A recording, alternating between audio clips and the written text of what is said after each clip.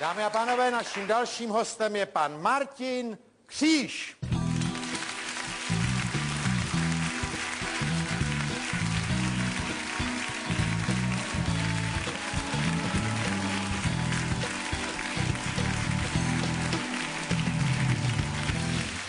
Pan Martin Kříž, kromě mnoha jiného, je taky synolog. Čili přeloženo odborník na čínštinu. Jak jste se k tomu dostal, pane Kříži?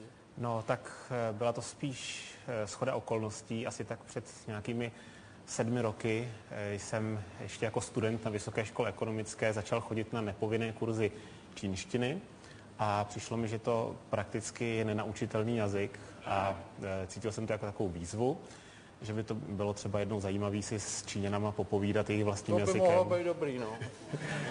A tak Čína je teďko zajímavá, že jo? To, je- to je až teď, to v té době ještě vůbec To nebylo. nebylo. Aha. A nebo si přečíst nějaký e, knihy v originále a čerpat z nich třeba nějakou informaci, která zůstala utajená. No ale vy jste dneska oficiálně soudní překladatel nebo tlumočník soudní, čínštiny, soudní, soudní tlumočník z čínského jazyka z čínského jazyka a z ruštiny, že jo? a z ruštiny. To je pozoruhodný. Ale víte, já si myslím, aby jsme nestráceli čas, mm, eh, já si myslím taky, že jich neumě trochu čínsky, protože když dneska chcete udělat pořádný kšeft, tak kde jinde než v Číně. A já jsem si tady připravil takovou tabuli, to bych dal, že bychom si udělali takovou malou eh, lekci čínštiny, abych se pak v Pekingu nestratil, když tam přijedu. No. Tak ty základní věci, abych se domluvil. Co tomu říkáte? Tak jestli na to máte čas a No, často si rád udělám, to se mi vyplatí bohatě. Ale takže, a trpělivost taky. no trpělivost, takovej rychlokurs bych potřeboval. Takže, jestli byste byl tak hodný, mě zajímají jenom ty základy. Teď budu asi potřeba pomoct tou tabul, tabulí, tím začne. E, že bychom si udělali jenom takový rychlokurs, v podstatě, vemte to, že pojedu do Číny, dohodnu kšeft a jedu zpátky domů. A Počkejte, já to udělám takhle ještě, abyste mohl být tadyhle. Tak, a že bychom si, potřebujete tušku nebo něco? E, fixku určitě. Fixku, tak tu vám dám. E, Červenou, jestli můžu. Chcete červenou? Jo, a vy jste se začal poroučet hodně, ale eh, já tady uklidím. Tak, a teďko nevím nic, to je vidět možná. A tak začněte, takový základ. No a e, chcete napřed začít fonetikou, anebo Mně to je jedno, z kterého konce to vezme. Tak já to napřed napíšu něco, aby byste se to pokusil přečíst a opakovat po mně. No, budu opakovat po vás. No. A budete si přát jako konfuciánský styl výuky, nebo ten, který je bližší našim zeměpisným štířkám? Co jste říkal? Jestli dáváte přednost tradiční výuce, tak jak se vyučuje v Číně, anebo No, abych vypadal jako dobře vychovaný, no, tak já nevím. Konfuciánsky asi. sednout? Jako já si mám... No ne, vy máte učit, ne poroučet. No tak vy, vy jste si zvolil ten konfuciánský styl, tak A to při součástí té výuky je už, že má, mám poslouchat tak? součástí výuky je, že učitel má být autorita, čili by měl být eh, Jo. jaksi eh, A vizuálně žák je výše. jako takový lulánek, který jako... A žák, žák musí být právě připraven k tomu A ten, pardon, a ten druhý, to by bylo dělej, vykládej. Druhý je jaký, než Tak je já vidím, konfucián? vidím, že nejste úplně připraven teda přijmout ten konfuciánský styl. Ne, tak já ho přijmu. No, ale tak přestaňte mě ponižovat a vykládejte čístý. Takže já bych začal eh, z takové první věty, kterou mají, eh, nebo já nevím, jak je aktuální č- učebnici čínštiny z první třídy jsem neměl v ruce, ale z té, co jsem eh, četl, tak bych začal tou první větou, něco, něco jako Emma má mísu. Ano, to je dobrá věta. I když, pardon, jak to jako pak při obchodním jednání?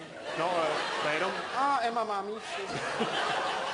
Vy jste byl tak hodný, jako nějaký věty, který můžu říct. dobře, jo. tak já zvolím nějakou.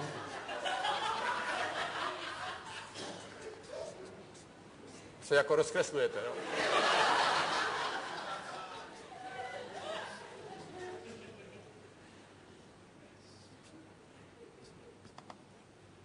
No, a teď ty panduláčky jako vysvětlíte.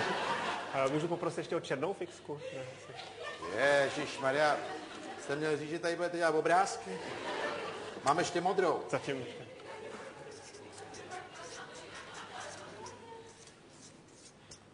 Tak a to píšete, jak se to vyslovuje. Ano, Počkejte, no.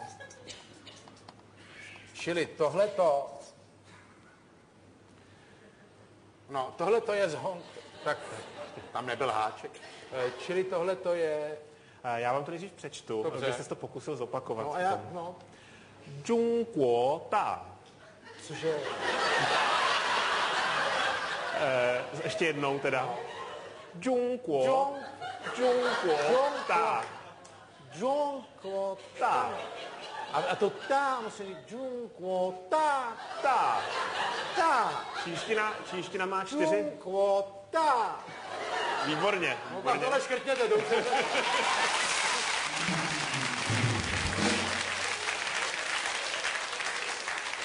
A co to je? Já vám to řeknu potom raději na jedno, až to všechno vyslovíte. Se si neměl vybrat tenhle konfuciánský. To je bordel. No. Pokračujeme teda. Pokračujeme, no. Jste připraven? Já jsem pořád připraven. Pen Xiao. Ještě, ještě jednou zopaku. No. Pen Xiao. To no, když vám špatně. Což je? To je začátek. Pen Xiao. A jenom to první. Hm.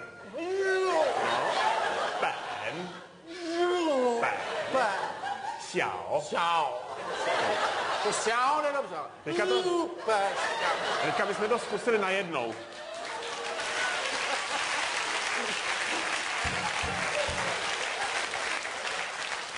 Džunkvota. Džunkvota. Najednou, já to řeknu nejdřív, celý vy to zopakujete.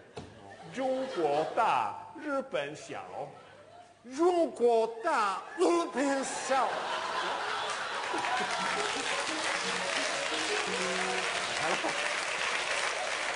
No ale to, to já když s ním budu jednat, to udělám úplně. Tak se nelekne. A ne, určitě na, naopak eh, je to velice pozitivní věta a je to takový kompliment Jo, pro pojďme Číňany. si říct, co jsem to řekl. Jungkuo znamená Čína. Ježiš, takhle jsem to dřel. Eh, 日本 znamená Japonsko. Čili já řeknu Čína, Japonska, úplně se na tom vyčerpám. No úplně a pak teda ta znamená velký a xiao znamená malý. Čili e, přeloženo do češtiny, Čína je velká, Japonsko je malé. Jo, hned půjdu do kontroverze takový. No, to je, není ani kontroverze, je to spíš takový kompliment Ne, pro tak Číňany. počkejte, a kdybych chtěl říct, ty jsi rostomilá, Vy jste ženatý, pokud vím, ty jste nebo... To, to ale při obchodním jednání. Vy Aha. jste rostomilá, můžu Vy říct. jste rostomilý. Rostomilá? A rost- Já s chlapama neobchoduji. Ono právě e, čínská kultura, nebo i tlumočení z čínštiny obnáší poznání e, čínské kultury a e, etikety. Ano. A právě tyto narážky nejsou... A to je není narážka, vy jste rostomilá. To je narážka. No je to urč, eh, určitá narážka, to přece jenom je. A tak co mám říct teda? Jungkuo ta. Když vy řeknete tak to mae, tak to, Mae. to znamená prodat. Mé. To je jako malou, ale mé. A když řeknete mae, Mé? tak to je koupit zase. Ježíš, já proč to je takhle nepřehledný? Čili to je mé a mé. To spolu budeme hodinu dělat nemaje mé.